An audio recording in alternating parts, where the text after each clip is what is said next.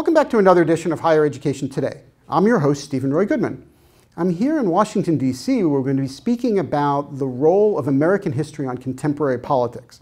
And we have two wonderful guests with us today Holly Brewer, who's, who's a professor at the University of Maryland, and Seth Radwell, who is the author of a book called American Schism. So, welcome to both of you.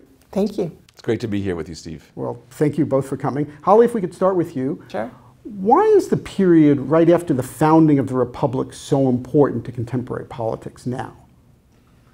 Well, for two really fundamental reasons. First, it's that period with the Declaration of Independence, with the Revolution, that American ideals were laid out in their clearest form, ideals that we've struggled to live up to. And second, because it's in that period, both on the state level and on the national level, that the foundation of laws under the United States, and especially the US Constitution, were framed. And they still frame how we discuss and legitimate laws today. Seth, do you agree with that? Yes. I, for me, the period is so fundamental because it really provided the antecedents to why we're so divided today, which is what I investigated in my book. There were conflicting or contending views of what the American experience during the Enlightenment would be about, and it played out in this period. So it's very important to go back and understand what happened. So let's talk about that period a little bit. So my understanding of, I don't think any of us were alive in 1776, right. but in 1776, my understanding is that the, the Declaration of Independence was kind of a, a document of what we hoped life would be like. But then the Constitution came along and it wasn't quite as aspirational as the 1776 document. The way I describe it in American Schism is that 1776 was an idealistic period, a breaking away and declaring new rights. And the Declaration is fundamentally what, what's a radical Enlightenment document. You know, when Jefferson replaced life, liberty, and property with the pursuit of happiness, that was a bold claim. But once the war was over and practical considerations became roaring in, like how are we going to pay for the war? How are we going to get 13 very different colonies to have a foreign policy? It was these compromises that forced the more moderates who had experience governing, the elites of the colonies, to make compromises. So that there was a big shift uh, across those 12 years between the, two, between the Declaration and the Constitution. And Holly, in your mind, is that 12 year shift still what we're living now? Well, can I go back and talk about whether I think that there is really a shift or ah, not? Fair and enough. so I would say even the Declaration was to some extent a compromise. So, for example, on the question of slavery and the extent to which slavery was wrong, there were the original draft of the Declaration yeah. had clauses condemning slavery explicitly. Written um, by Jefferson. Written by Jefferson. Right. And they were excluded. I'm just going to show one quick connection. They were excluded on the insistence of Edward Rutledge, and who basically indicated that South Carolina wouldn't sign on right. to the Declaration unless they were removed. It was his brother John Rutledge at the Constitution who did the same thing if slavery was not, I mean, if the mm-hmm. slave trade weren't allowed at, le at least until 1807. So uh, there's compromises in both, is what I was going to say, and there's also radicalism in both. That said, I do agree there's some there's some change over time. What does it mean for today? That's your other question. Well, before we even get back to that, I really think your point is really interesting. So, so how radical do you think that the original document was? The original declaration. Yes. I think we're still really radical because even though the explicit clauses condemning slavery were taken out, all men are created equal was still there and it wasn't exclusive. So right. it was just a little bit less explicit on the question of slavery. Um, See, I, I, would argue that, and again, my, my feeling is that it was the supreme expression of the French radical enlightenment that there's this notion of an egalitarian society that comes out of the social contract thinkers. It was most, most purely expressed then. And, and the reason why it's important is because the moderates of the time, John Adams, Alexander Hamilton, were very afraid of democratic rule. They were, they were really concerned about e egalitarian mob rule. Democracy meant demagogue back then. And so in the Constitution, they put strong guardrails against democracy. The only democratic element of the Constitution is the House. There's a strong executive. There's a Senate that at the time was appointed by state elites. Yeah. So by state legislature. Yes. Yeah. So so there's a lot of guardrails against this radical egalitarian enlightenment and more towards what would be the Locke, the, the Locke or the Montesquieu uh, aristocratic republic. Some people would argue that we're still debating some of those same points. Like if you look at today's United States Senate, and a senator from Wyoming has the same power as a senator from California or New York or Pennsylvania, some people would say that that's inherently anti democratic. If you live in Wyoming, you have seven times the weight in national right. politics, and both in both through the Senate and the right. and the president that you do if you live in New York State City, for example. Um, yeah, it's profoundly um, anti-democratic. I I guess I would push back a little bit too, though, even on that question um, the Constitution purposely left unstated what the qualifications were for voting, and right. that was partly because there were splits over radicals and conservatives, yes. and they left it up to the states. Right. Um, and I think part of the logic behind the um, certainly the electoral college in the voting for president was also that because it was so difficult to travel at that time, and there was no television, which we're on now, or or radio or, or internet or easy ways to quickly communicate, there was a worry that people wouldn't be able to know who they were voting for um, and have any direct encounter with them. There's a travel issue, communication issue. Right. And so that that was part of the justifications, the initial, and so it wasn't just anti-democratic. Okay. It was it was yeah. practical concerns. Good. So uh, that have now disappeared. There was also the big state, small state situation, right. which was made very acute by the fact that the Articles of Confederation had given one vote per state. And so, and those, that's how the voting was done, even at the Constitutional Convention. So it was harder, it was been hard to come up with a different norm. I mean, I think it's obviously it's high time when we consider the Electoral College and even possibly the organization of the Senate. But why would, let's say we were having this debate somewhere in Wyoming, mm -hmm. why would people in Wyoming support a reform of the Senate or the Electoral College?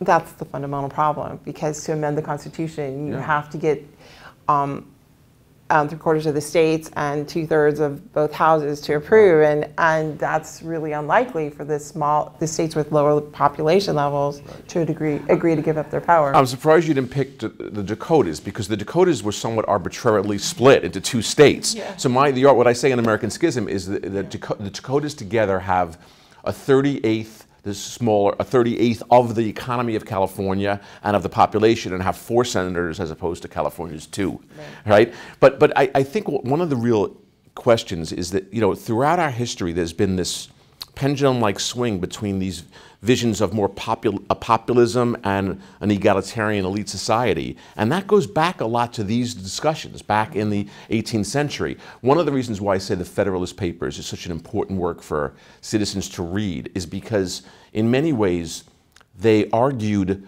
about the pros and cons of this radical versus moderate enlightenment in the Federalist Papers. Like, like Madison 10 really delineates the notion of why what's what's the federal properties of the Constitution and what's the what's reserved to the states and what's you know national. So those those discussions are really interesting because they're relevant to some of the things we've been through, many of the things we've been through. I argue as a country.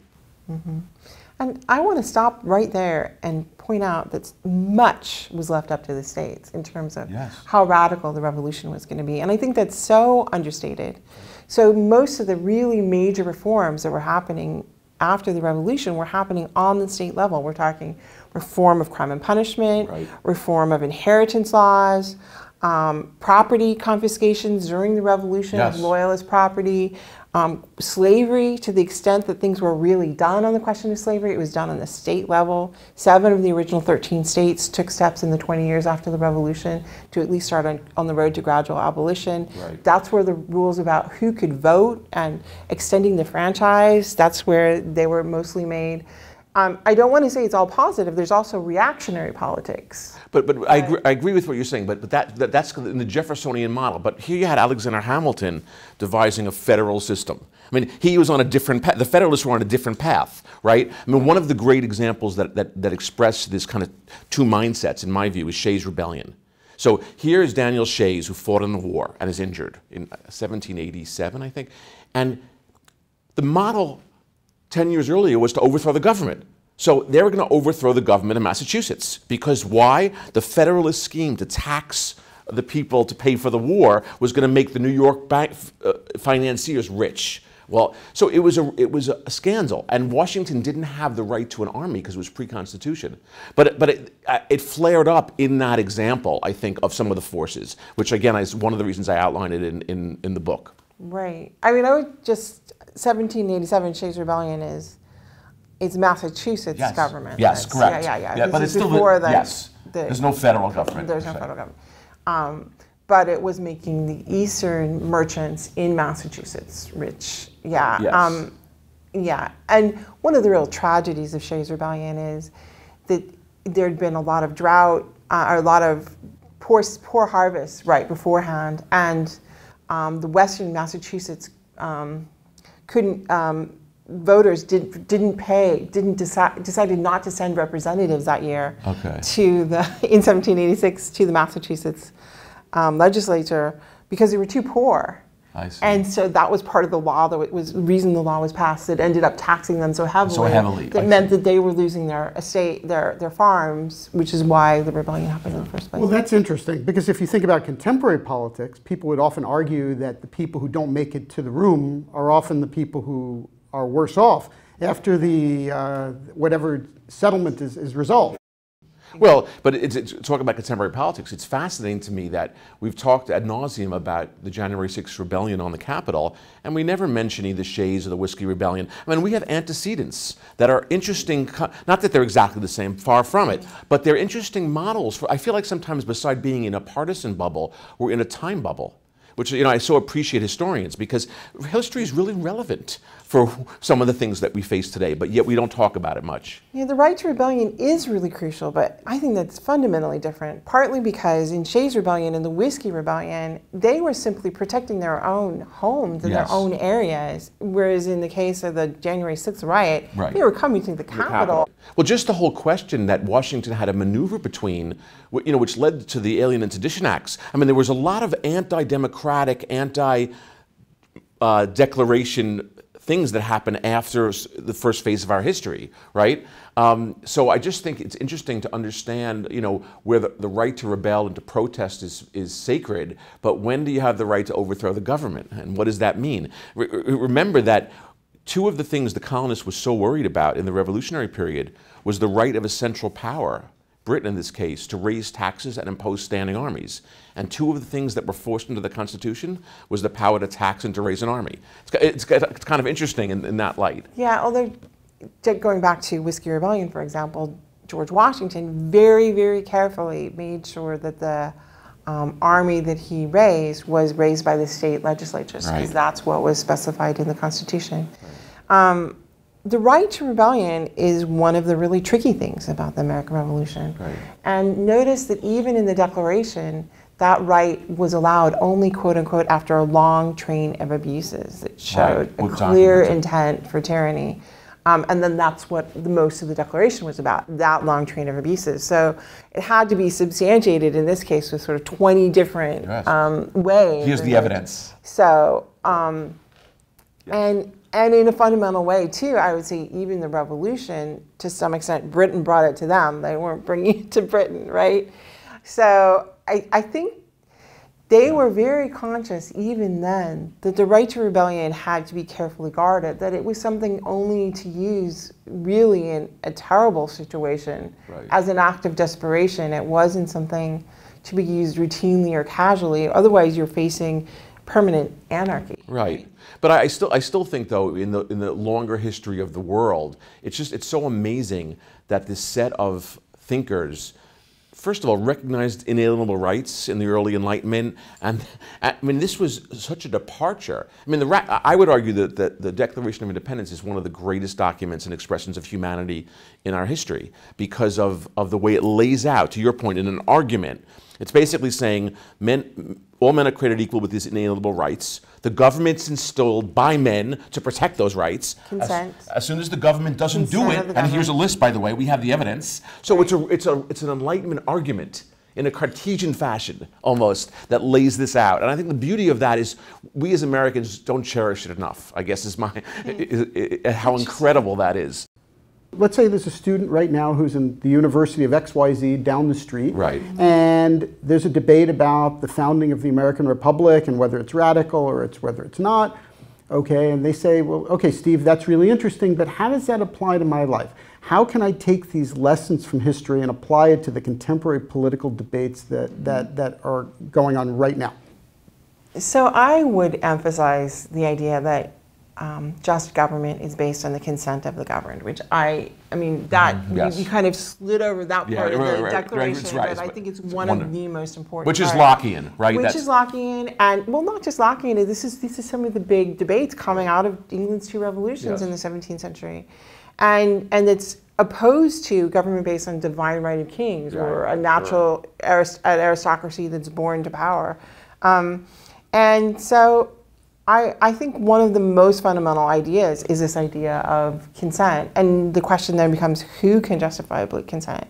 And John Adams has an amazing letter to James Sullivan in about May of 1776 after, after um, Abigail had written to him and said, What about women? Why can't they participate? And, and Adams wrote back to her and kind of laughed, but then he wrote a serious letter to James Sullivan. And he said, those who are dependent on others cannot should not be able to vote because they have no will of their own. And what did he mean by that? He's talking about children Right. and the poor and women and anyone who- as a servant or who works for somebody else. He said none of those should be able to vote because they're dependent. Why did he say that and how did he justify it? Part of the reason, the way he justified it was based on how voting was done then. Voting then was all oral. I see. So you would step up. So there's a wonderful account from Virginia of an- the election, actually, of um, John Marshall before he was Chief Justice when he was elected to um, the House of Representatives. And the, the voter actually stood on the steps and was asked, Who do you vote for? And Marshall was, and the other candidate was there. And they, and they said, hello, Mr. So-and-so, the sheriff, you know, who do you going to vote for? And then when he voted, the person he voted for said, thank you very much. I shall remember that as a feather in my cap. You know? But imagine if voting is oral. Anyone who is dependent on anyone else can be Well, it's public, first it's of all. like, like just, you know, say you're my boss and I want to vote for someone. You said to me, hey, you know, I really Right. like John Marshall. I'm standing in front of you. Right. Who am I going to vote for if I really care, right? Or, or say I'm your tenant and I rent a house from you, which was very common then. Right. You're dependent on them or yeah, yeah. So, so, so I would emphasize that, that there is this radicalism. It's often tempered. People are concerned. You want also stability, Right. but that to pay attention to the ideals there and decide where, where you stand in terms of solving these problems. So Tochu, but Holly, you make a point that's so vital to Steve's question, which Steve asked, how is it relevant to students today? I mean, this whole fundamental notion of, which I, I will talk about in American Schism, is government top down. We're moving in a, in a world that's leading towards autocracies more and more. The question of whether government is top down from some higher power or it's a bottom up thing instituted by men and consented to by the governed it seems like a, a simple question, the, but the world is going uh, crazy over it today. I mean, the notion of what government is. My point being, I think students have to really understand, as Danielle Allen from Harvard talks a lot about, what it means to be in a democratic republic and what's involved in, in consenting to be governed. I mean, it's such an important idea.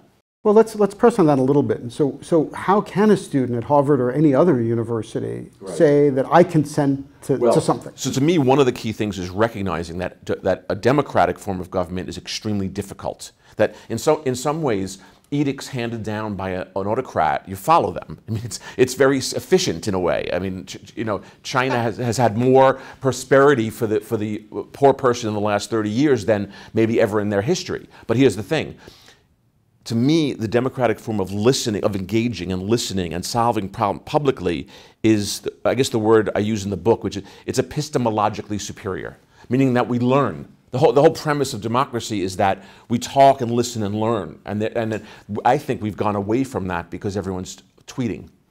We're not, that doesn't count as real listening to me. So, uh, to the student at Harvard, it's to get up off your computer and go talk to some Americans about their experience about in real in real in, in person i don't know if you agree with this but i think that that's really important that we've kind of lost sight of that uh, anyway so i think for students it's really important Do you agree with that, Holly? Well, there's several elements to what you said. So, um, on the first one, whether autocracy is efficient, I think it can be efficient, but if it's really horrifying, Yeah. when you're talking about you know, killing or punishing huge numbers of people, it becomes yes, less I, I efficient depending on how you measure that. Um, in terms of how do you participate in a democracy, how do you give consent, I think it is important that people deliberate and that our educational systems teach people how to think uh-huh. and not just memorize how to, right. you know, what is the right answer on a multiple choice test, which we've been doing far too much of for the last 20 years. So I would emphasize that above all. Um, but I would also emphasize how important it is to participate in the democratic process and to make sure that it's as fair and inclusive as possible. Um, mm-hmm. And third, I would, I would, I think it's really important to challenge things. And I think through the internet can be a way, not yes. just through tweets, but through right. considered essays. Um, challenge things that you see as unfair to raise awareness about them because part of the problem with the American system, as I see it, is that sometimes the courts have too much power. The courts are, are making decisions over things that really the legislature should be making decisions over, not just adjudicating in a narrow way, but adjudicating in, in a broad, broad way. way. So if a student at the University of Maryland comes up to you and says, you know, I really like that particular lecture you gave the other day. I'd like to discuss that more. And you say, okay, well, here are some things to read, and then they come yeah. to see you Mm-hmm. How do you get them to say, okay, well, I'm frustrated that XYZ court ruled a certain way. What do you want them to do? Do you want them to work for a campaign? Do you want them to write op eds? What do you want them to do to engage? So, first of all, I stay out, I mean, I say nonpartisan in terms of those kinds of questions, obviously. But um, but that is the kind of thing I would encourage them to do. Um, and I have had students who went out afterwards and, and, did things like that, became a public defender, for example, or um, you know, started being a, as somebody's chief of staff on a campaign. Um, so that, I mean, those are things to do. But um, in terms of history, I, am a history teacher. I teach, you know, about two centuries ago. I encourage them to really find the sources for themselves, to not just use what I give them, yeah. but I show them how to find the evidence and to think through the debates and the struggles. Right. So, and that's what I would encourage them, encourage them to do about today. That's great. Yeah, I, I, just had a talk with Next Gen Leaders in New York, a group of high school students who are interested in civics. And um, it's so interesting to hear them talk about these issues against the backdrop of the political debate today, which is, in my view, collapsed. That you know, so so it, they, they come from an era where it's so easy to attack and to use passion as opposed to facts. And you know, I think core argument is really this type of deliberative process that you're talking about at, at university. Um, I think that's so vital to the future of our democracy.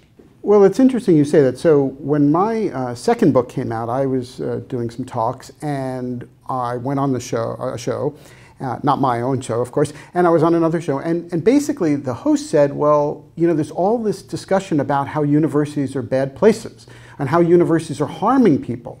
And so there was almost a discussion. I wanted to talk about how universities are helping people to promote a civic dialogue.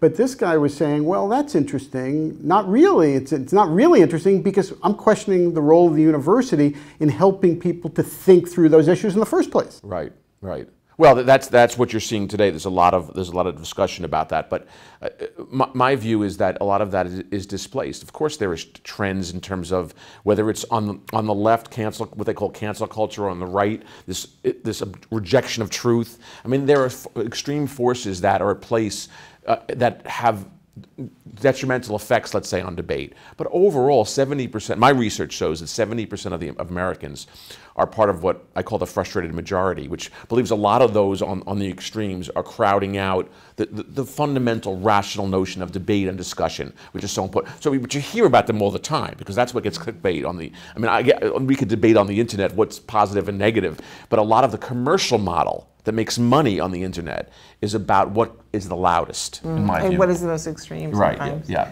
Yeah. Um, I think there's a lot more openness and fairness within the university than, than some people. I think mostly on the, I don't know, I think there's both people on both the far right and the far left who'd say that universities are too biased one way or another. Um, but certainly speaking for myself and my colleagues, we do what we can to meet the students where they are, to help them understand the material, to help them understand the material from different perspectives, from different sides, to investigate more, to dig, to, to answer, to learn to answer questions from them, for themselves. Um, and I would say also um, to really think about the nature of evidence and how we know things. That's so interesting. I love that. I just I'm reading right now the Constitution of Knowledge by Jonathan Rauch. Have you guys heard of that book? That. Oh, it's it's it's it's it's trying to understand how you know one of the things takeaways is that we forget sometimes that you don't need, not only don't you not need certainty for knowledge, but to have knowledge, you have to have uncertainty because it's about being open to being wrong. Mm-hmm. I mean, he, he, he, talks a lot about how the development of, of knowledge, so it's a worthwhile book for your, for your listeners, I think. Well, speaking of not knowing, and so, so if we're having this discussion about what we know and what we don't know, I mean, we're still having debates 200 years later about what the founders actually meant by putting in a particular clause or not putting in a particular clause. You could, you could say that there's a reason why a student or an adult in the United States now is confused about whether or not that was an, an American notion or not.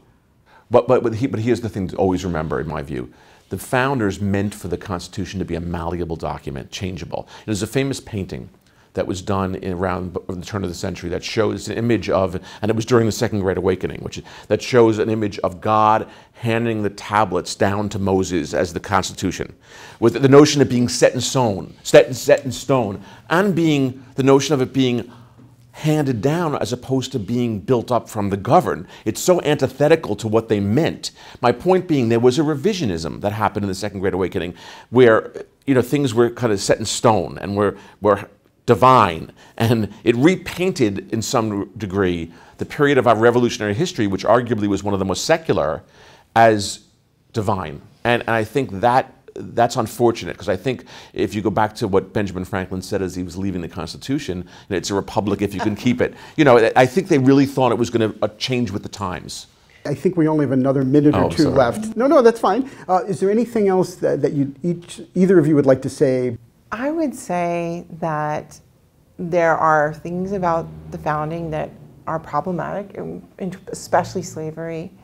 There are also high goals that relate to considered arguments about justice, and that those high goals are worth fighting for still, even if they weren't fully lived up to at the time because of practical compromises. Yeah, that's great. I, I would agree, concur with that. I, what I would say to people today is that, and I, I talk about this a lot in American Schism, is to reject these extremes if you don't believe in them and claim your voice back. fight unreason with reason. A lot of what you hear on the internet today, in Facebook or Twitter, seems crazy.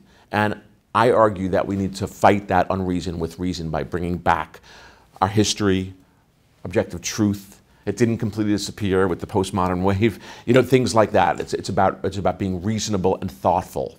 That's a, a, an important element for what I, what I pr propose today. Well, thank you both. Thanks for having Thanks us. Thanks very much for having us. If you'd like to reach out to me at the show, please go ahead and send an email to highereducationtoday at topcolleges.com.